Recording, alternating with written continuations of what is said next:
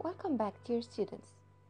Following our lesson about slope, today's lesson we are going to talk about direct variation. The objective is to determine if there is a direct variation. First, what is meant by direct variation? As you see in this graph, the direct variation is a linear relationship where the ratio of y to x is a constant k. We say y varies directly with x. So here we have y equals 2x. This means that y over x equals the constant k and in this case k is equal to 2. So if we have y equals kx where here in this example y equals 2x if we get y divided by x on that side this will give us 2 on the other side and 2 is the constant of variation which is k so when two variable quantities have a constant ratio the, the relationship is called direct variation so in that case y and x the relationship between them is called direct variation. Why? Because there is a constant ratio between them, which is 2 in that case. The constant ratio is called constant of variation or constant of proportionality or it's the slope at the same time. In a direct variation equation, the constant rate of change or slope is assigned a special variable k. An example the equation y equals 10x represents the amount of money y Julia earns for x hours of work. Identify the constant of proportionality and explain what it represents in, there, in this situation. First, we're going to compare the equation y equals kx with the equation y equals 10x which is given in the example. Compare them. Do they look alike?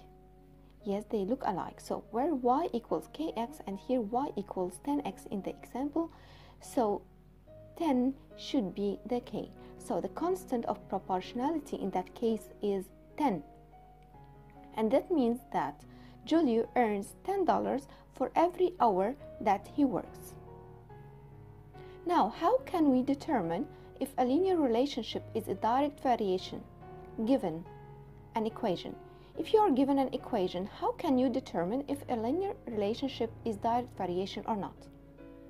If the equation is in the form y equals kx, so directly this is a direct variation. Okay, if you're not given, again, given an equation, if you're given a graph, how can you determine if a linear relationship is direct or not? Given a graph, the line goes through the origin. So if the line goes through the origin, like in this graph, y and x, the relationship between them, the graph goes through the line, goes through the origin here. This is the origin. So if it goes through the origin and it's a straight line, this means that the relation between y and x is a direct variation. If you are given a table to determine if you are given a table, if the, if the relation between y and x direct, is a direct variation or not, the ratio y to x should be constant. Let us look at this example. Pizzas cost $8 each plus a $3 delivery charge. Show the cost of 1, 2, 3 and 4 pizzas. Is there a direct variation? Okay, so we will make this table this is the number of pizzas. This is one pizza, two and three and four pizzas. And this is the cost for each of them. We know that the cost for each one is $8 plus a $3 delivery charge. So $8 for each pizza. For the first one, you have one pizza. So you're going to multiply 8 times 1 and you add the $3 charge. So 8 multiplied by 1 is 8 plus 3 is 11. For the second one, you're going to multiply 8 times 2 and add the 3 also. 8 times 2 is 16 plus 3 is $19. For the third one, it is 8 times 3 pizzas and add the, th the 3 which is the delivery charge. 8 times 3 is 24, 24 plus 3 is 27.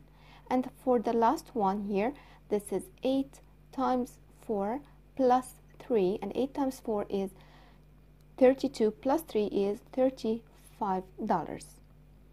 Now we go we have to determine if this is a direct variation or not. So if we draw a graph for these for these points this is the y this is the cost and this is the x number of pizzas. The first point is 1 and 11 so 1 and 11 is here. This is 1 and 11 the second one is 219 the third is 327 and the fourth is 435 and you draw the line connect the line between the points. As you see from the graph we see that the line here is not passing through the origin. So we have to say that this is not a direct variation from the graph. But we can prove it also from the table here. We have to look at the relationship between the y and x or the if we make y over x 11 over 1 this is for the first point is equals to 11 the second point is 19 over 2 and 19 over 2 is is 9.5 they are not the same so we cannot we can stop here we don't proceed more and we stop here and we say that there is no constant ratios because the ratio here is 11 the ratio here is 9.5 it's not constant.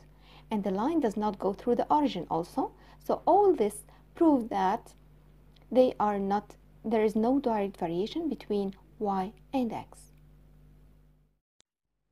Thank you for watching. If you like the video please press like.